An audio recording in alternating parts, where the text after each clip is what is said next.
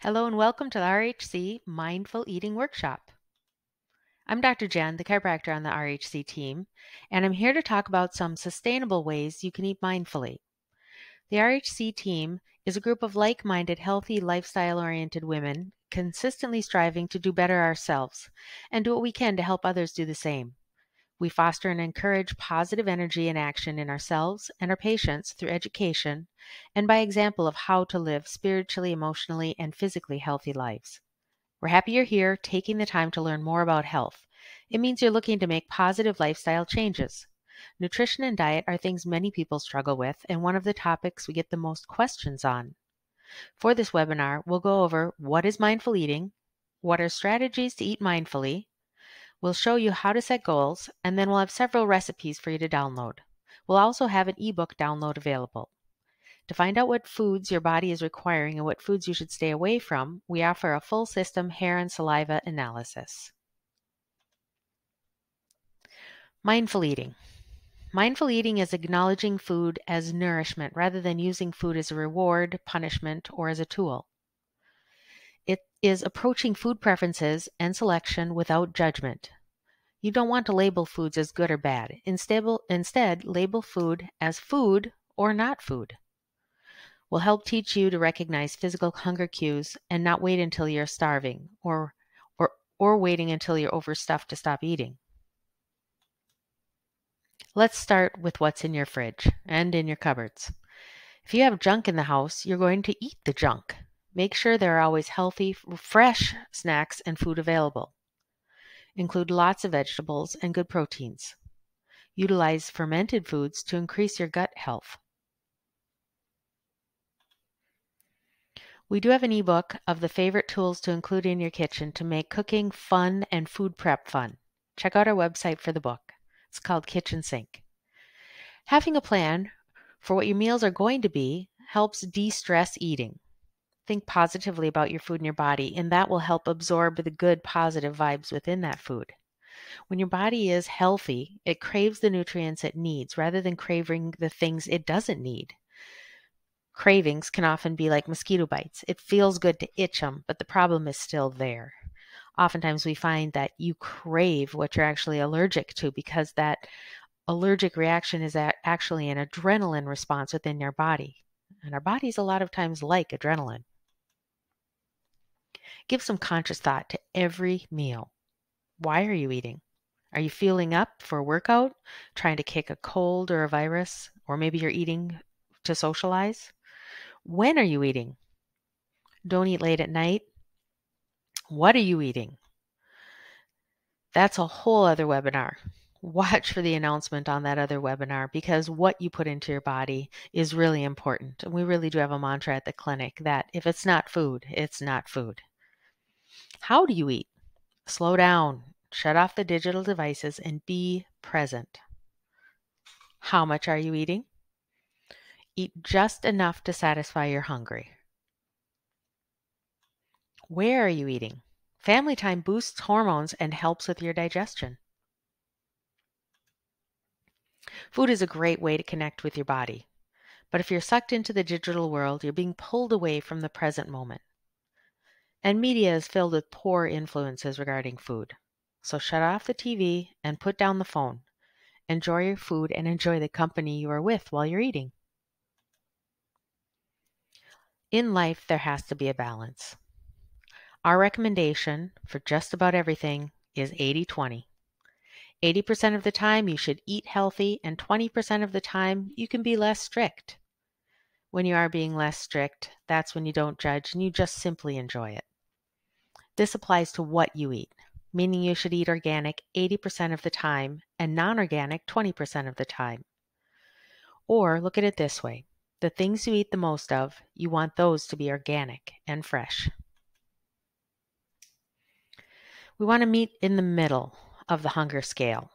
One means you've waited too long, so always have snacks on hand to ensure this doesn't happen, like nuts, seeds, veggies, all work great for this. Five is, is the ultimate. That means that you've eaten and you feel great. Replenished, not too stuffed, just right.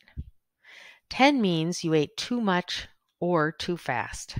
We all know what that feels like, and it's not good. Consciously think about this scale every time you eat so you make a connection with your hunger and how much you're ingesting. Do self check ins before you eat, during, and after you eat.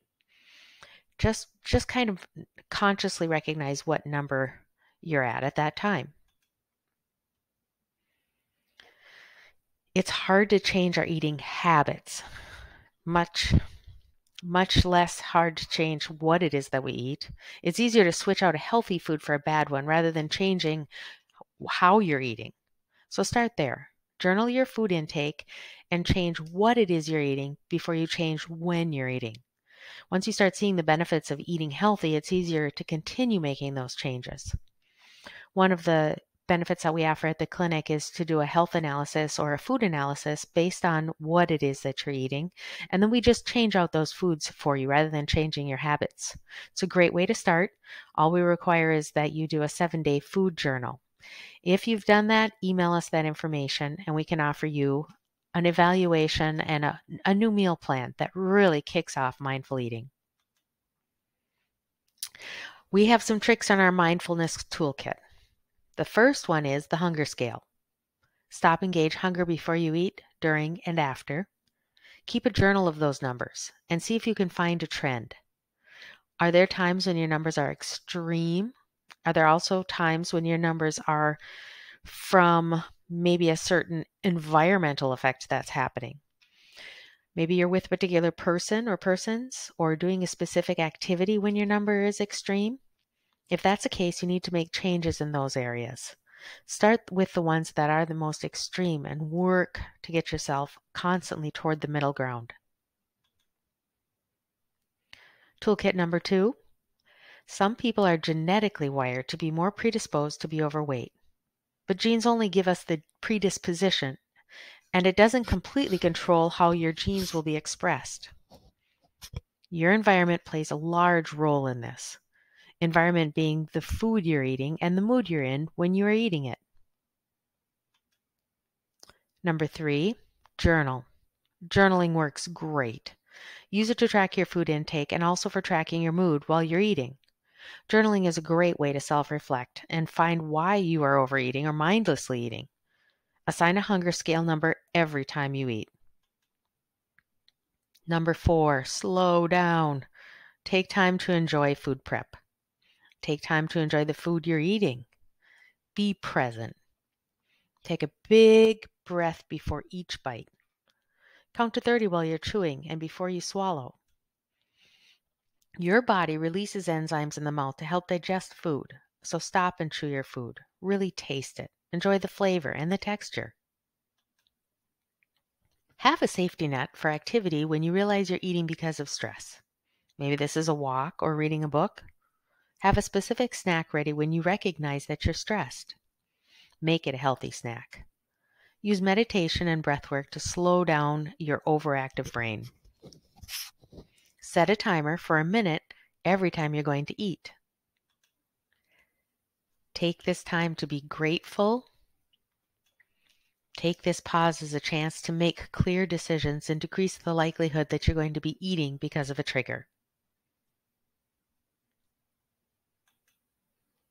Mindfulness Toolkit number six Know your triggers and then redirect. Once you recognize what your triggers are, you can more easily plan for what to do when you're experiencing them. If the trigger is external, change your environment.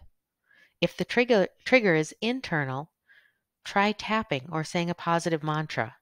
If you're wondering what tapping is, give us a call or an email or visit our website. We offer tapping sessions, which is also a form of emotional freedom technique. Redirect. Sensory input is very powerful. Use noise and sense to bring you into the present moment and make better decisions. You can do this by smelling an essential oil, ringing a bell, playing some music, lighting a candle, some essential oils or some incense, something that makes you consciously aware of your actions and puts you in a positive mindset. Toolkit number seven learning how to eat healthy is a skill you need to learn and can take a couple of years in our experience. A couple of years of strongly educating yourself in the area of what food actually is and how it plays a role in your health. Healthy oils are good for you. They allow your body to produce hormones and help regulate inflammation, which is the source of most diseases. Quite a few people try to stay away from oils. That's not necessarily a good plan. They really do, when they're good oil, assist in health. Vegetables are also anti inflammatory and contain fiber, which is great for intestinal health. Your body requires half your body weight in ounces of water each day. Make sure that you're getting that in. Fiber is better sourced from vegetables, but can also be gained from the whole grain, meaning a good grain that contains all parts of the kernel. We are such a heavy protein laden society so don't do it in that, don't overdo it in that area. Make sure you're eating good quality proteins also. Think about the purpose of eating. Include other reasons besides hunger. Are you asking for nutrients for your body to help accomplish a goal like a workout or more energy to accomplish the day? Are you eating for comfort or to clean the system out? Foods are a part of every culture. It's a great way to bond with the ones you love. Take time to teach your kids about food and to teach the next generation about eating healthy and eating mindfully. Number eight, cooking can be really enjoyable. Start with a simple recipe. YouTube is a great resource for learning how to cook. Be prepared with all of the tools and ingredients you'll need and set aside enough time for cooking. Have the fun tools in your kitchen. That's, this makes cooking even more enjoyable. We'll share a link at the end on what each one of us are must haves of the RHC team are for in our kitchen. Having the right tools really makes all the difference and makes cooking more efficient. Let's make spring rolls. Gather the veggies, cut them long. Google your ingredients Add them to by your one wrapper and Add it to your weekly routine. let's make spring rolls. Them one of the things you found that fresh herbs, it's fun and to grow your own. The standards that I use basil, thyme, make oregano,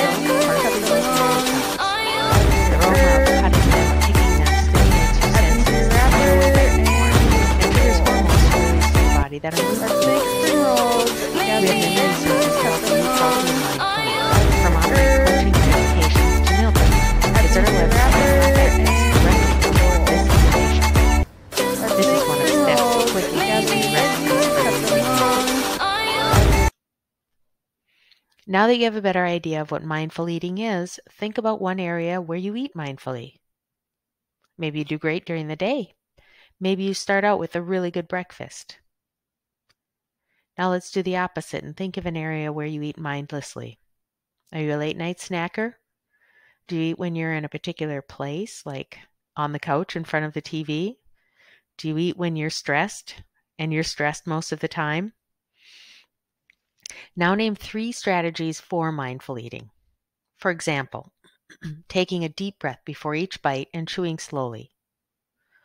Or preparing your food while thinking about how this food is going to serve your health, serve your body. Put the, the power of intention is strong. Put those positive vibes and energy into that food, and then your body can absorb all of those positive vibes and energy. Plan ahead so you aren't hungry and you're better able to make good food choices. SMART goals. This is a worksheet for you to be more concrete in achieving your goals. Each goal should be specific. What are you trying to accomplish? Use the W's to be precise. Who, what, where, when, why. Also, a goal must be measurable. Including measures is important so you know how close you are to reaching your goal. It also needs to be achievable. Make sure you have resources to reach your goals and they are things you can make happen. The goal should be relevant, relevant to your needs and to support your values and your vision for the future. Don't design something that you can't achieve and don't underestimate what you're trying to accomplish. It should also be timed. Goals should have deadlines so you can review and revise when necessary. Develop a schedule for your goals. Here's an example of a specific goal. Once you've completed this page, check in with it often to make sure you're staying on track. Again, if you have someone who works best with accountability and coaching, utilize them. It's always great to have somebody help. Example, example number one is eating three meals at a table this week without distractions. Example number two, purchase ingredients for preparing nourishing recipes this week. Number three, prepare two lunches ahead of time to enjoy at work this week.